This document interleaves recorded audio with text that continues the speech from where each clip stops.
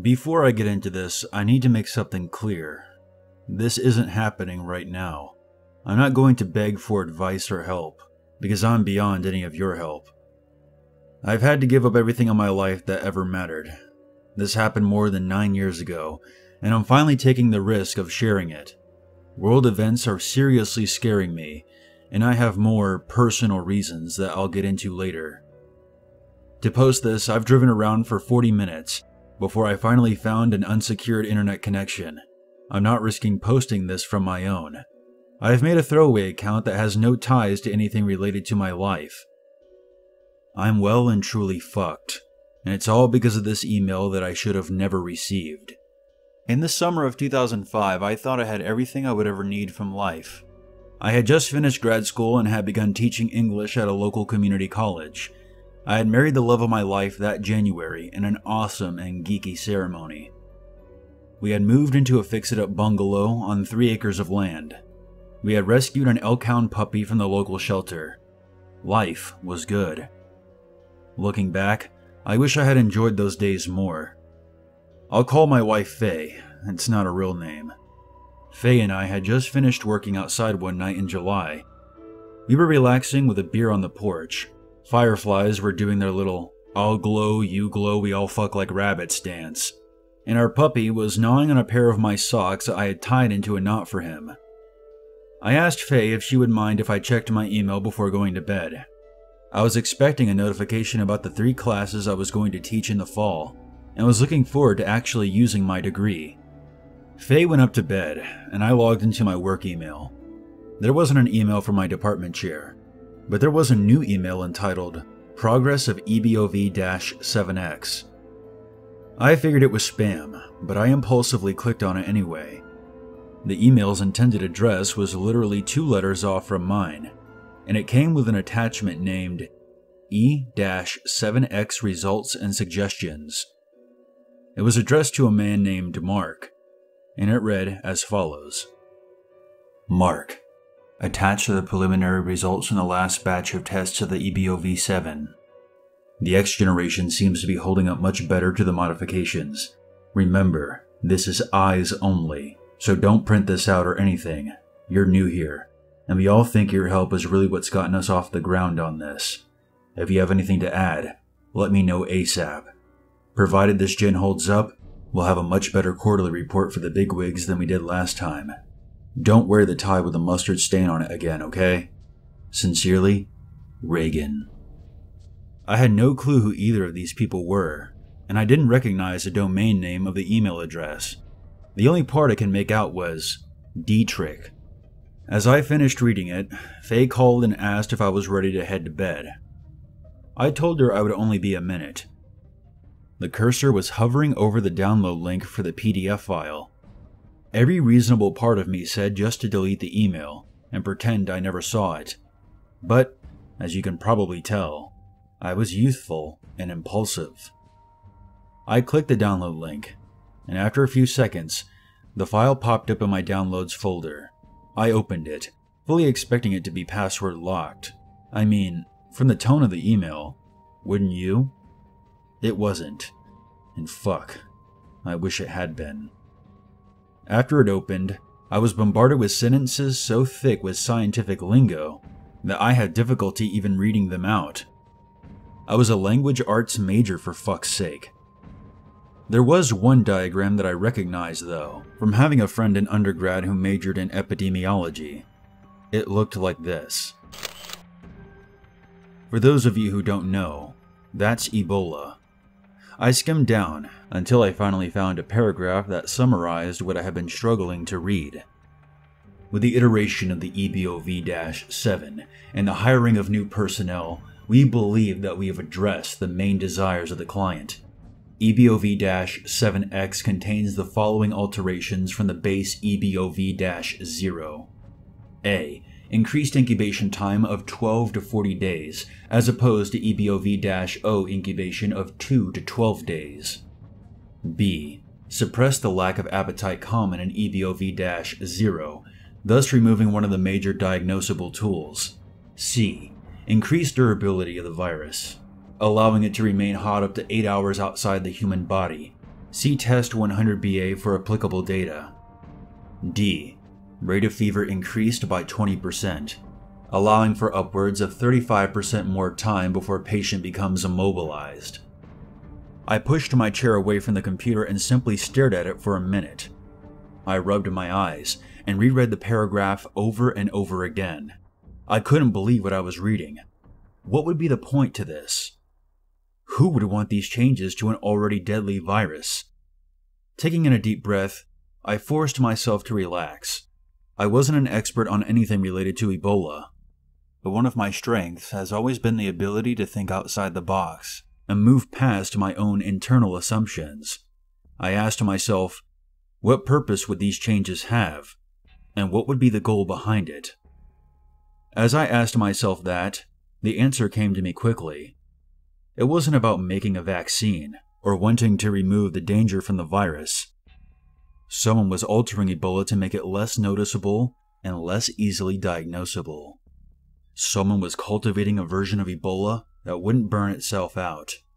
A version of Ebola that could be a pandemic. Holy shit.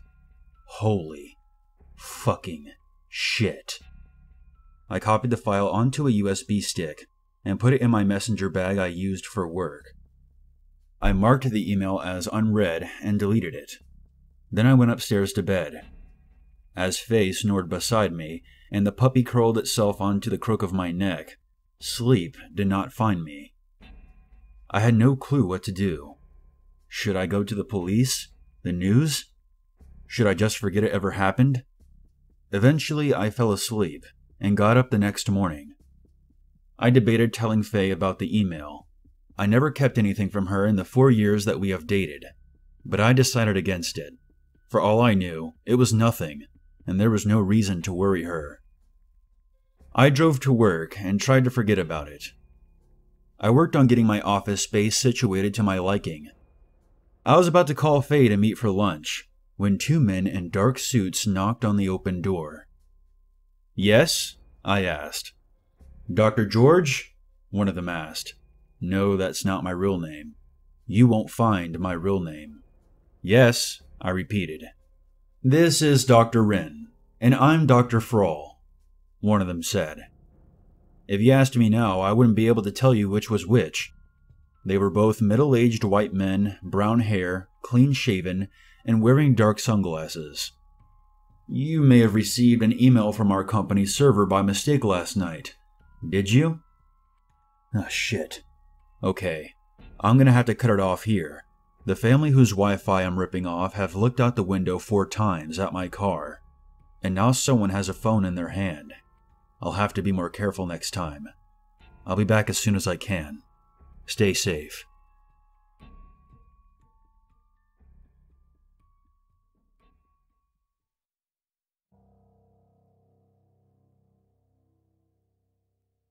Okay, back everybody. I'm being a bit more careful this time. I'm still hijacking this family's Wi Fi to post this, but I'm here in the middle of the day now. The only one home, from what I can see, is the wife, and she hasn't noticed me yet. Some of you probably are wondering why I even bother driving 40 minutes to do this. I'm not even comfortable writing this out on my own home network, let alone posting it from there. I have lived in 60 different cities since this happened. I like where I am now, and I really don't want to have to move again. Anyway, when I had to cut out last time, I had just been approached by two men in suits. At that moment, I had never been so appreciative of my grandparents teaching me how to play poker. I frowned and looked upward to the left, acting like I was trying to remember. In case you're wondering, the idea of looking up and to the left suggesting that you're telling the truth while the opposite suggests that you're lying, is actually a myth. However, that doesn't stop people from believing it. I told them that I had received it, but that I marked it as spam and deleted it. Would you mind showing us? One of them asked. He smiled and took off his sunglasses, probably in an attempt to appear more cordial. The second kept his glasses on, which made it impossible to see where he was looking. If we don't ask, our bosses are guaranteed to give us hell for it. No sunglasses said. I agreed and logged on to my university email. I pulled up the trash folder and showed them the apparently unread email. We really do apologize for this. We've been installing new internal servers and we've been having trouble with stored addresses and queuing emails. The new system is meant to automatically find the correct email address. It's been attaching the wrong domain names to IDs that are close. They watched as I deleted it. They seemed content. Each of them shook my hand, reminded me that the email was under corporate non disclosure, and walked out. As soon as they were gone, I shut the door and collapsed into the chair at the computer. What kind of company was this? How in the world did they find me, find out where I worked, and send people in less than 24 hours? I looked at the USB stick in my bag, but I didn't touch it. In some weird way, I worried that I had damned myself, but I couldn't shake the feeling that it would end up being more important than not. I finished up my workday and headed home. The next day was Saturday, and we needed to mow. Some of you may think, why would mowing take a whole day? I can only respond by saying that one of the downsides of having land is having to take care of it. We had two tractors so that Faye and I could mow at the same time and finish in as little time as required. Before I explain what happened that Saturday, you need to understand something. Without fail, I service those tractors every time after we use them. I clean the mower decks, sharpen the blades when they need it, and double check the engine. I check the oil and gas before and after using them. Yeah, I'm a little OCD, but it's been more help than harm. Faye and I each typically use the same tractor, but she told me that her tractor felt like it was pulling to the left instead of going straight. I told her to use mine, and that I would check it out. She started the tractor and began to mow our field. The tractor worked fine for 15 minutes, and then the engine began to sputter and cough. I noticed it and waved for Faye to stop. She did, shutting the tractor off and starting to walk towards me. Several things happened all at once. I stood up, walking to meet my wife halfway. Faye walked towards me smiling. Out of the corner of my eye, I saw a dark maroon sedan slow down as it drove past our house. The tractor then exploded behind my wife into a fireball. Pieces of metal and rubber flew in every direction and the shockwave knocked Faye forward onto the ground. The blast of heat hit me in the face, and it felt like I had dropped face first into a bonfire. I ran to her, scared shitless, but she was fine, though the wind had been knocked out of her. I moved her to the garage, told her to call 911, and ran back to the burning husk of my tractor with a fire extinguisher. I used the entire extinguisher, but I couldn't get the blaze to totally stop. The next few hours were a blur. The fire department showed up, followed by police. The neighbors gawked from their front porches, and we were asked the same questions again and again. The cops asked if either of us had any reason to suspect foul play. God help me. I should have mentioned the meeting with the two men at work and the email, but I kept my mouth shut. What would I have said anyway? Well, gee, officer, I received an email last night from a company making a biological weapon out of Ebola. And today, two men in dark suits showed up at my work to ask me about it in a vaguely threatening manner.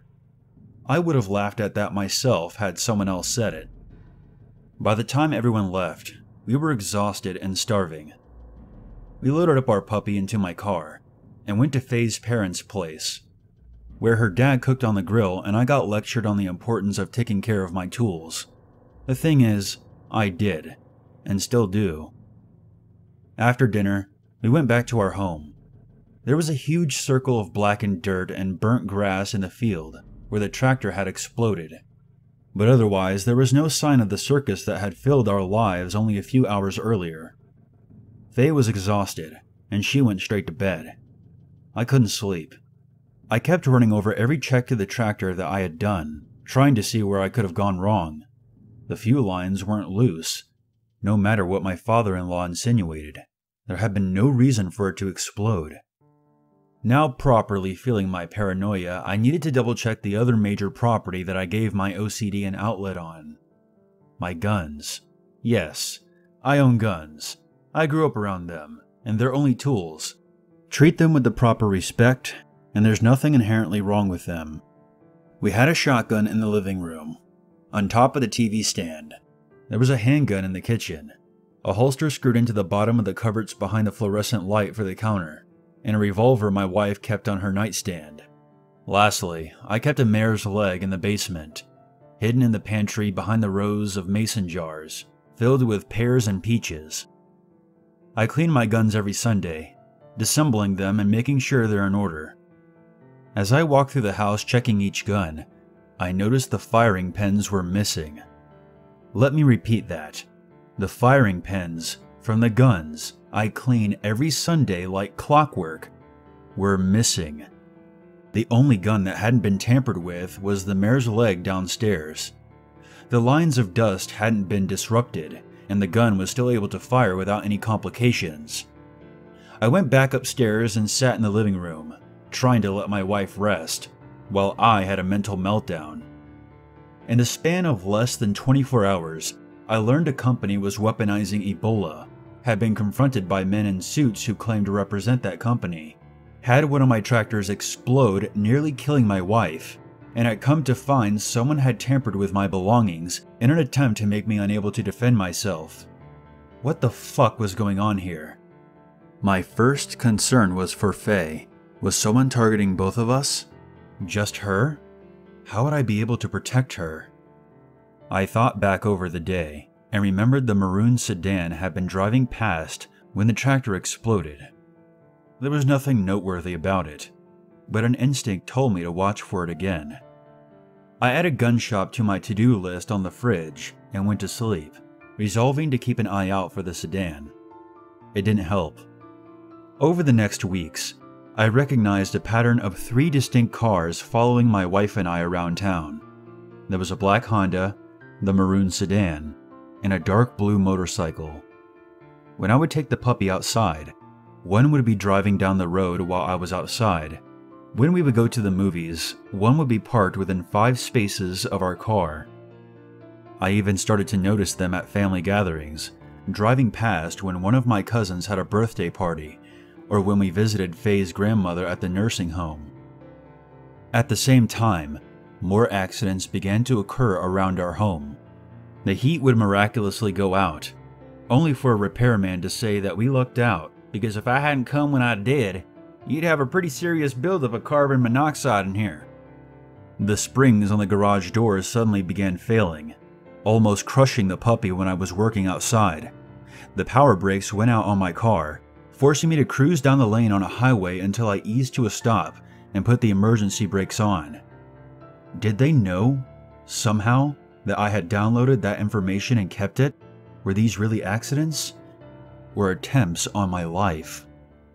After three weeks of this, I got out of bed in the middle of the night and checked my guns again. No missing pieces. I then sat in the dark to think. Deleting the information wouldn't help. If they knew I had it, they wouldn't know if I deleted it, and if push came to shove, it was the only leverage I had. The email had come to me by mistake, so it wouldn't be logical to assume that Faye had read it. She had been on the tractor I usually used when it exploded. It was clear to me that I had been meant to be on it, not her. The accidents had only started around the house since the visit by the two men, Wren and Frall. I hadn't seen them again in person, but the trio of vehicles were ever present. The real part of me wanted to take my guns and go hunting, but this wasn't the Wild West. I wasn't going to risk someone getting shot in crossfire. I wasn't sure if the police would accept my story. If this company had the capacity to find me in less than 24 hours, how could I be sure they wouldn't fabricate evidence against me? Should I tell Faye about all of this? She was my wife, my partner, I knew that she would be in my corner 100%, but I could not risk her safety. I know this sounds chauvinistic. I assure you that's not the case. Faye was more talented than I in a lot of areas, but I was raised to believe that a man protects his family no matter what. Discounting the problems with the ventilation systems, everything that had happened was directed at me. If I told her, she would become a legitimate target as I apparently was. As long as these people kept trying to proactively silence a leak, my wife would be in danger of being collateral damage. Her remaining that way was not an option. I had to think of a way to ensure her safety permanently. I was out of options, at least the ones that left me in a position I wanted to be in, namely with my wife, safe, in the life that we had built. The only option I had left that would keep me alive and keep my wife and family safe was one that I did not want to do. I had to disappear, vanish out of the clear blue sky, and make it as close to impossible as I could to be followed. Once I was off the grid, I would find a way to either expose the company or make some kind of deal with them. I couldn't expect Faye to follow me, nor would I want to expose her to that level of danger.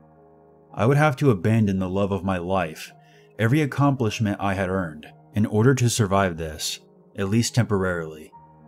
I was so fucked.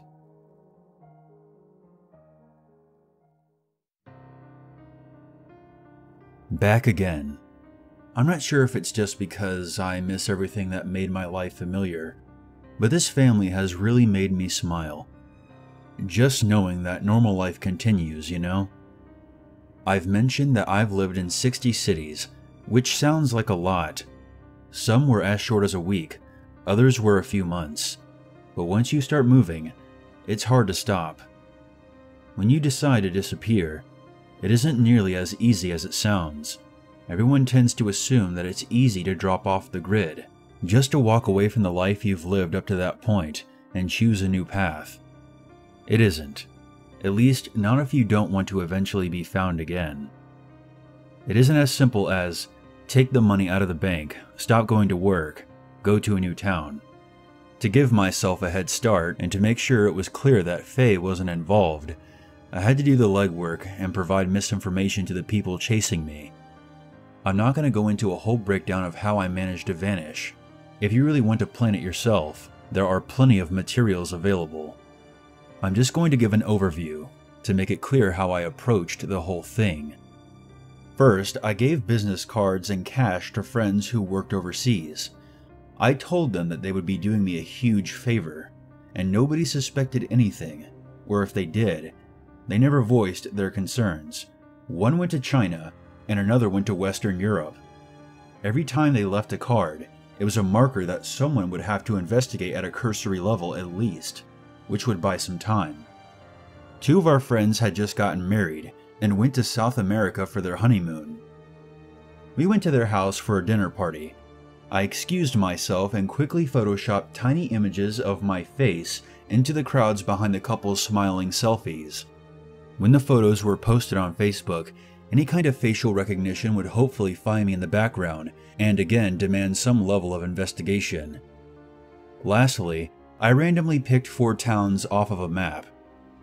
I bought a prepaid cell phone, and when I should have been working, I looked up apartments for rent in those locations. I called and made appointments to look, appointments I never intended to keep. I called water services, cable and internet providers, magazine companies, all to set up subscriptions or knowingly false installation dates. For the people reading this who recoil and think to themselves, what a jackass. You can bottle your displeasure. When a company like that comes to a place to make an installation and there isn't anyone there, they simply don't do it. It's no skin off their nose. For the callback numbers on all these appointments, I made sure to give the number to the nearest police or federal authority station. I doubted the people who sent the email would be worried, but I fully intended to make it clear that I was meeting them step for step. For every sales plan or rewards program I belonged to, I called and changed my information slightly. I purposefully misspelled my name, or had them fix my address to one of four towns I had picked, or to a P.O. box I had prepared just for this. Everything was done for one purpose to make it as time consuming as possible to hunt down every lead I could place, in order to give me time to find a way out of this mess. To make sure I didn't lose the information I had saved on the USB drive from the email, I printed everything out twice and sent each of the copies to different P.O. boxes owned by private companies. Again, this isn't a how to, but this is an easy way to break it down. Box A Fake everything. Town I never planned on visiting. Box B Fake everything, and again, a town I never planned on visiting. Box C Real. Sent one copy here. Town adjacent to a place I was familiar with.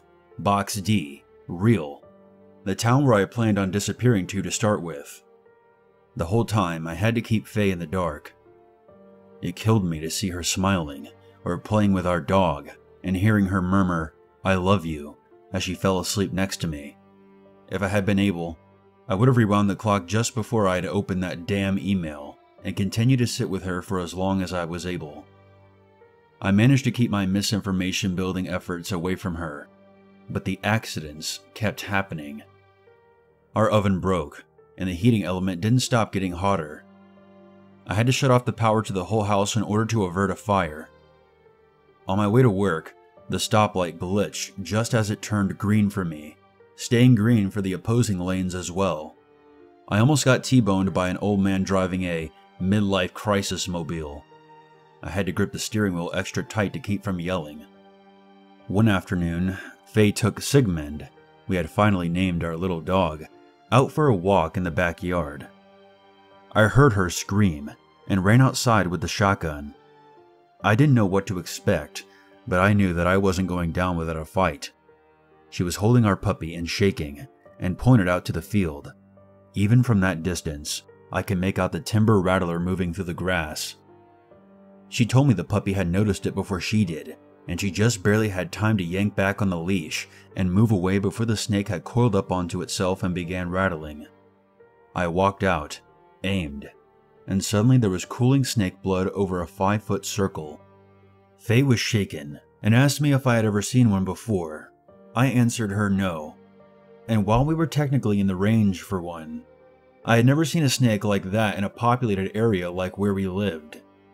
These accidents were getting more and more desperate. I have no doubt that if they simply wanted me dead, they could have shot me.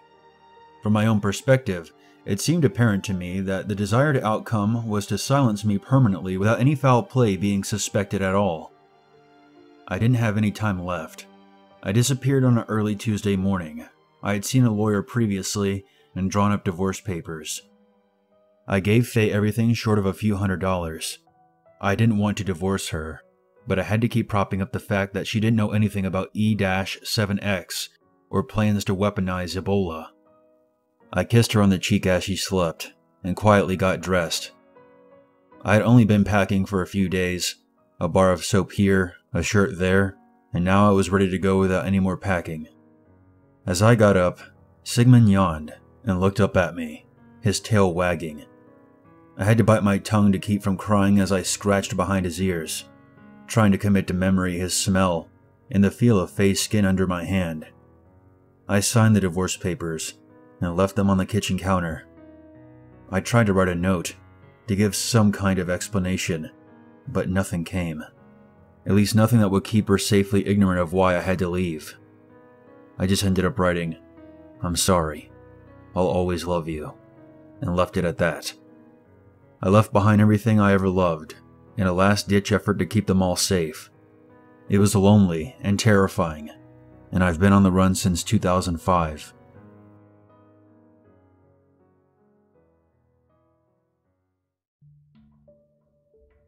It's been nine years. Nine long, lonely years. I never stopped moving the first two years. I never stayed in one place for more than two months before packing up and moving. I worked odd jobs. Always got paid under the table in cash. I lied with a smile every time someone asked me where I was from, or about the ring I wore around my neck. I've tried three times over the years to get the evidence I have to people who might be able to help me. Two were politicians, and one was a news person. I suspect you'll recognize their names Larry Craig, Anthony Weiner, and Tim Russert. I pick the politicians not because they're tough on bioweapons, or the vast military industrial complex, but because they represented states far away from my own. When I reached out to Craig on August 23rd, his staff seemed remote, but interested. Four days after, I turned on the radio and heard that roll call was reporting that he had been arrested for lewd conduct. Holy shit. I went underground again after that, for the better part of a year, moving and always keeping an eye over my shoulder.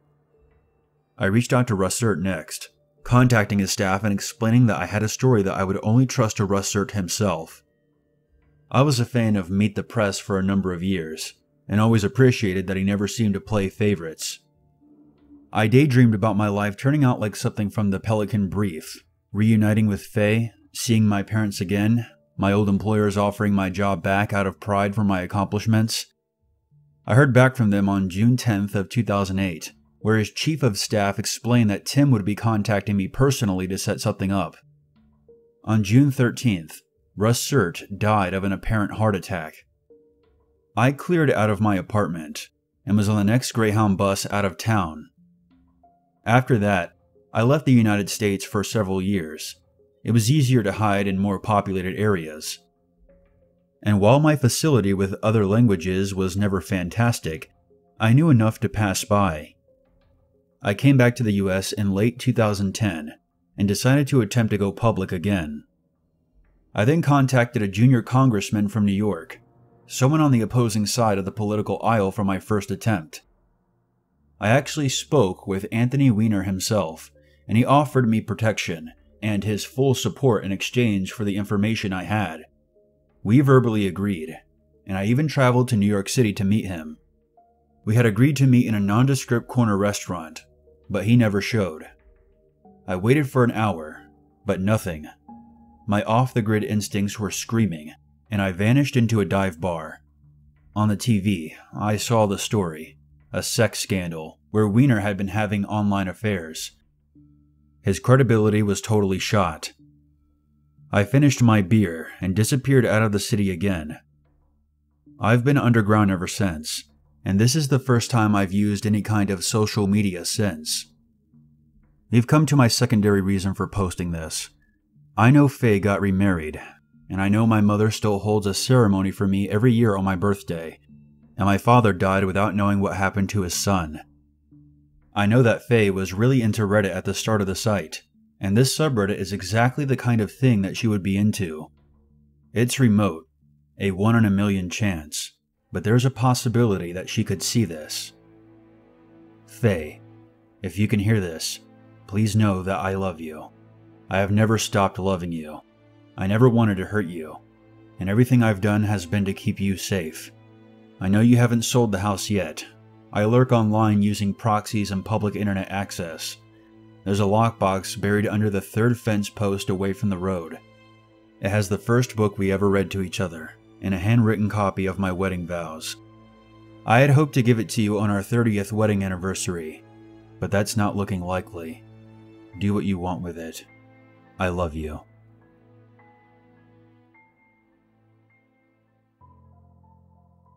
This is my final entry. Okay, I can't stay here long. I wanted to address a few things in a longer post, but events have happened to make that no longer an option. This will be the last update in a very, very long time.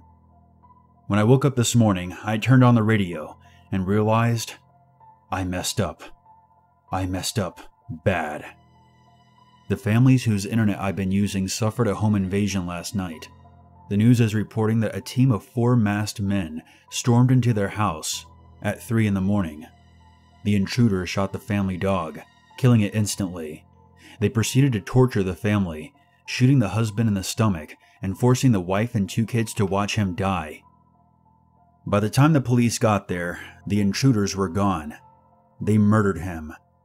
They also cut three of the eldest child's fingers off the police reports were saying the intruders were asking about a man, matching my description. Though the family didn't know anything. All because I stole their internet and posted this. I'm waiting at a bus station now. I need to disappear again. Though hopefully I can do something for the family whose lives I managed to destroy. I've seen a lot of your comments about going to WikiLeaks, of being a hero. I never wanted to be a hero, and you can call me a coward if you want. All I wanted was a normal life with my wife and a dog and maybe some kids.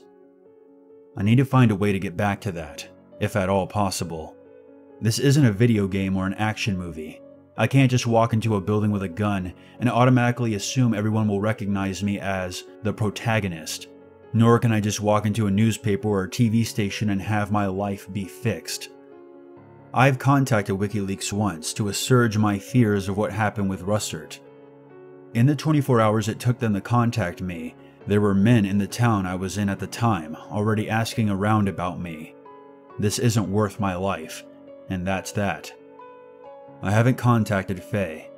Her new husband is old money, and she appears to be doing just fine. I saw that some of you suspect he's in on this somehow, but I doubt it. I'm going to try to find a way to slip some kind of message to her, I think.